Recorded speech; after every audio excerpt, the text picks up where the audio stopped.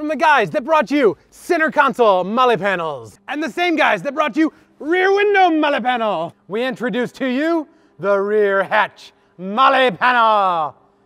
And now I'm gonna show you how to install it. So when you receive your package and you open it up, you're gonna have a couple things.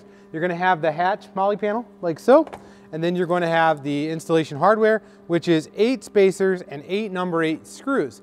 So installation's pretty easy on this. You're gonna wanna just kind of place it on the hatch, mark your holes, drill your holes, put your screws and spacers in, and you're done. There's a couple ways you can go about this. You can do it up here over your head, or you can sit inside, close the hatch, and do it that way. I'm gonna do it this way, because I feel this is a little easier. But if you're short, it might be a little more difficult, or if your Jeep is really tall. But anyways, let's get the install done. All right, so on this panel, you're gonna see there's gonna be small holes. There's eight of them. And those are gonna be the ones we put the screws in. The other holes, the larger holes, those are for putting on quick fists or other sort of mounts that you're gonna wanna store your gear. So what we're gonna do is we're gonna go ahead and put this up on the hatch like so. It's gonna kind of lend itself to where it wants to go. As you're gonna see, you just center it here on this bulge. And then from there, I'm gonna use a pick and I'm gonna go ahead and mark my holes. You can use a Sharpie if you want.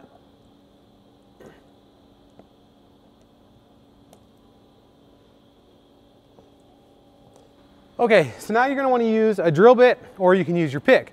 If you're gonna use drill bit, you want something that is smaller than this so that when you screw this in, it has some bite. So what I'm gonna use is this pick and what you're gonna do to the holes that you picked and marked earlier, you're just gonna kind of twist and push like so. And do the rest of the holes.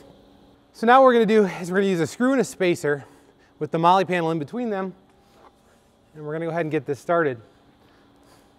It's gonna be a little tricky by myself, but I think I'll manage.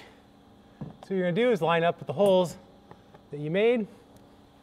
Using a Phillips screwdriver, you're gonna go ahead and get these started. Now you don't wanna go crazy, you just wanna get it started.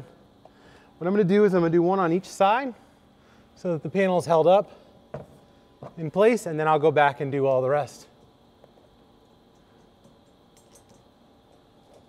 So I'm actually gonna put them all in loosely first so that I get the spacers in all the way down, and then I'm gonna tighten everything up at the end. Okay, so I have everything loose, so I'm gonna go ahead and tighten everything down. You don't wanna go crazy and reef these in because they will strip, so you wanna just kind of snug them up.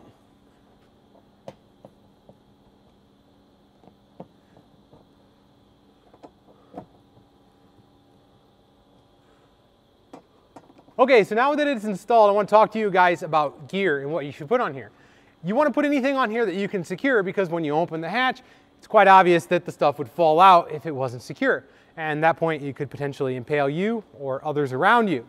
So options are MOLLE pouch bags like this with full zippers, first aid kit, you can put it on here.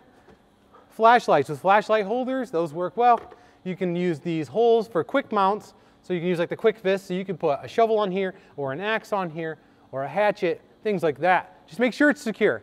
If you have any questions, feel free to reach out to us, info at jcroffroad.com or give us a call at 269-353-1184. We'd love to get you set up for your next trip.